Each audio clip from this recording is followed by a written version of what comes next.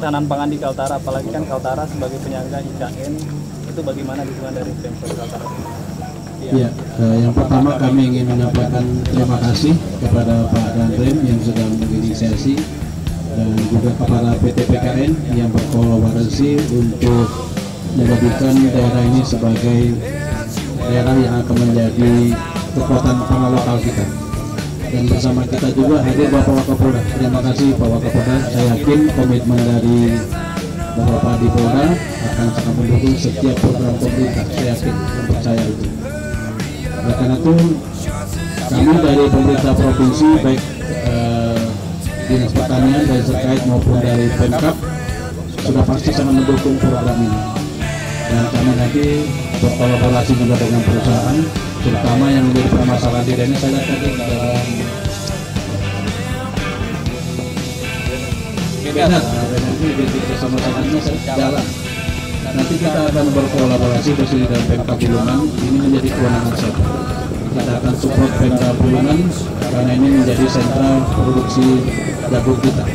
Dan saya ucapkan terima kasih kepada masyarakat Lumir yang sangat antusias kegiatan pada hari ini.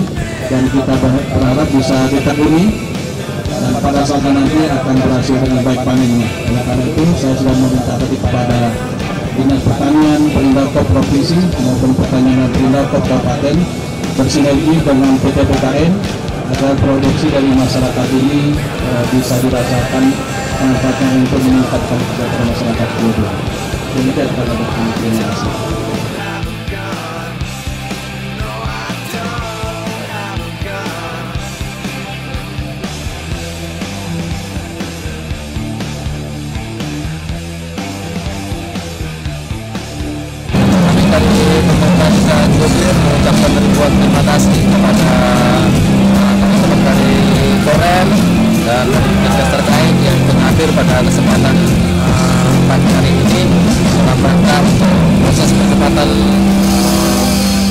luasan tanam uh, jagung di desa Gobir.